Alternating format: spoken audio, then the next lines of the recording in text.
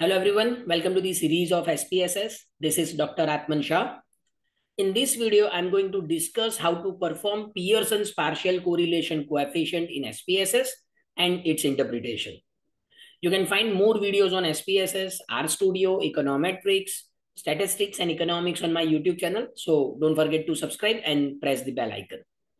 Let's begin with the idea of partial correlation coefficient.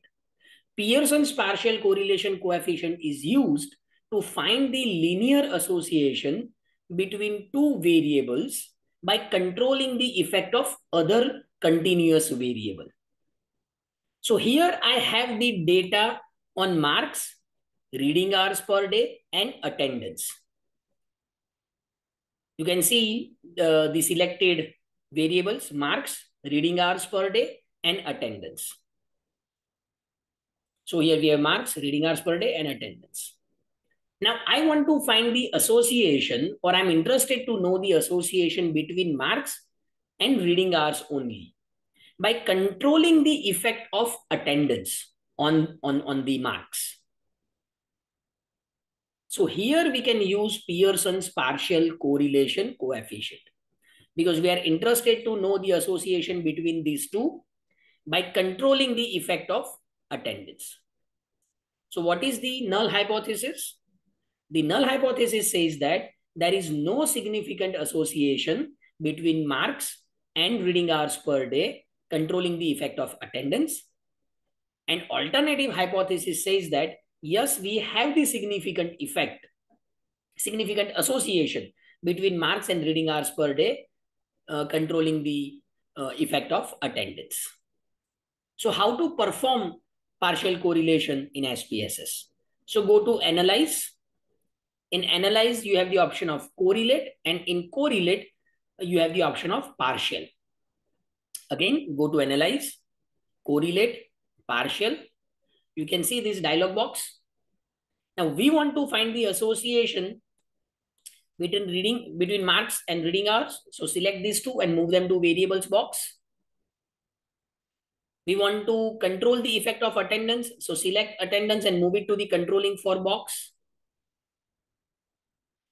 go to options, select these two means and standard deviations and zero order correlations. Simply click on continue, click on OK. You can see result in the output window. So here we have descriptive statistics. And then we have the result. So see the first half of this result controlling variable is none.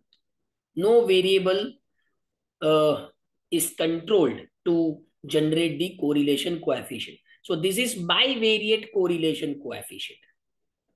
And you see the bivariate correlation coefficient between marks out of uh, 100 and reading hours per day is 0 0.986.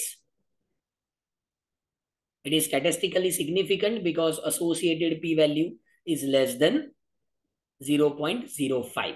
So we reject the null hypothesis and we can conclude that yes, we have the uh, strong positive association between marks and reading hours.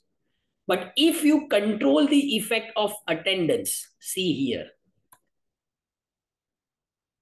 then the value of coefficient reduces from 0.986 to 0.866. So this result is after controlling the effect of attendance on marks. So the value of partial correlation coefficient is 0.866.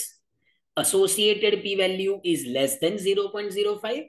And therefore, we conclude that we have the strong positive association or strong positive correlation between marks and reading hours per day after controlling the effect of attendance. So this is the idea of Pearson's partial correlation coefficient. If you like this video, kindly comment, subscribe and share. Thank you.